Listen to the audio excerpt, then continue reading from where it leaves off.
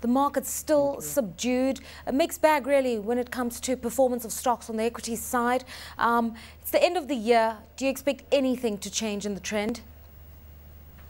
Um, no, um, not not really. Uh, in fact, um, I expect it to weaken further. Traditionally, what's happened with the equity market is towards the end of the year and the beginning of uh, and January, we see a lot of sell-offs, especially from retail clients um, meeting um, holiday and um, beginning of year obligations. Um, they've been out of the market so far. Um, most of this uh, second quarter, they've not touched the market at all. Retail participation has been minimal. I mean, the market has mostly been left to institutional investors and uh, foreign investors. So um, if, if they come in towards uh, the end of the year and early in 2012, we should expect the market to weaken further as they sell off to meet their obligations. All right, we are seeing though the shilling significantly improve, trading at 90 shillings 80 cents today. So monetary policy is having a very positive effect, but it's not enough to lift the markets. Why is that? Um, yes, the shilling is, is performing uh, quite well. Everyone's happy about that. In fact, uh, most people are expecting it to end the year at uh, below 90 levels, trading around maybe levels of between um, 85 and 88, which, which is, I mean, uh, wonderful. Monetary policy has actually taken an effect. I mean, it's actually, we're actually seeing the results of uh, the policy stance. And um, although liquidity has been very tight, um, I think the payoff in strengthening of a shilling is, is, is worth it. Um, but um, in, in, terms of affecting the market, I think we initially saw the initial euphoria when uh, the shilling began to strengthen. We saw a lot of players come in, but um, basically all the other fundamentals had base were all the same. And um, of course, with interest rates rising, there's a lot of competition from the money market for funds. So a lot of funds are going that way, as you mentioned earlier. Okay, what does this all mean for the fixed income side of the market? Because the one peculiarity of Kenya is as the equity side tanked, we didn't see um, fixed income uh, riding the crest of that wave. People didn't see comfort on the in fixed income side of the market. So um, inflation's still high, the shilling improving. What would that mean for this particular aspect of the market?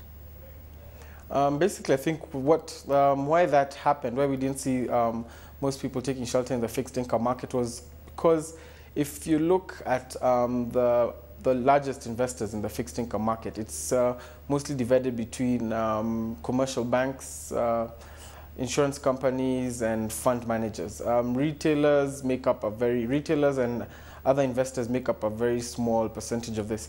And during the during 20, 2010, actually, most of 2010, a lot of um, these institutions took up positions in these bonds.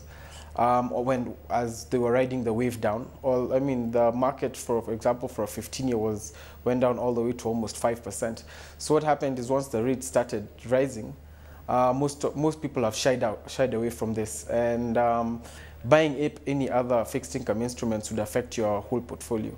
So what we've seen is more, because of the uncertainty, uncertainty in rates, most um, investors have chosen to stay at the short end and in the money mm. market which which is actually, I mean, expected. Uh, I mean, you're not going to go in and buy a 20-year paper and burn up the rest of your portfolio. Yeah, absolutely. Let's talk about rates we're seeing on the interbank side, apparently risen by 33%. What does that mean for the CBK and for the banks that are looking for uh, lending on the overnight window and some of those platforms offered by the central bank?